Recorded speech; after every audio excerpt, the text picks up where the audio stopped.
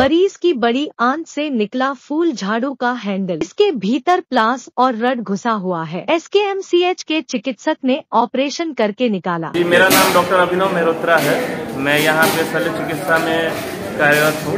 Senior resident हूँ यहाँ पर। यह मरीज़ सुरेंद्र प्रसाद नाम है इसका। यह रात में कल एडमिट हुआ था हमारे यहाँ इमरजेंसी से। और इसकी शिकायत थी कि इसके पेट में दर्द है और आंत में रुकावट है। तो प्रारंभिक जाँच और बाकी जाँच हमने करवाया उसमें पाया गया कि कुछ फॉरेन बॉडी इसने इंसर्ट करवाया। है इंसर्ट किया था यही था उसके अंदर। ये पूरा? जी जी इंसर्टेड था ये।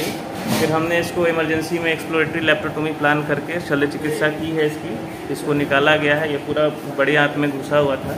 हालाँकि मरीज़ जी ये इतना लंबा है पूरा। इसको निकाला गया इसके अंदर एक ग्लास रॉड भी घुसा हुआ है। और ग्लास भी है। जी जी। ग्लास रॉड भी था। हालाँकि मरीज़ ने ये एडमिट नहीं किया कि ये कैसे घुसा पर आश्चर्यजनक है ये निकला है। अभी उसकी लगभग एक फीट होगी? जी जी। एक फीट का है। हाँ लगभग। अच्छा।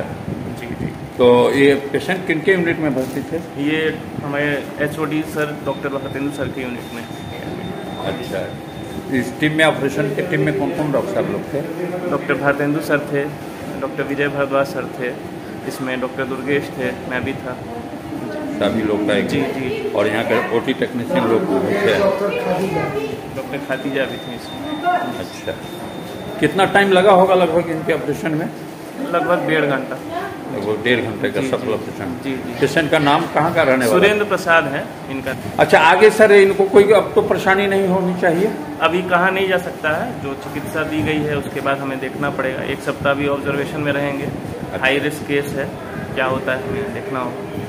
इस तरह का केस पहले कभी नहीं हुआ था। नहीं जी नहीं इतना बड़ा ऑब्जेक्ट हमने पहली बार देखा है। छोटा छोटा ऑब्जेक्ट लोग कई बार घुसा लेते हैं उसको हमने किया है पर इतना बड़ा पहली बार तमाम लेटेस्ट खबरों को सबसे पहले देखने के लिए सब्सक्राइब करें। Digital news 20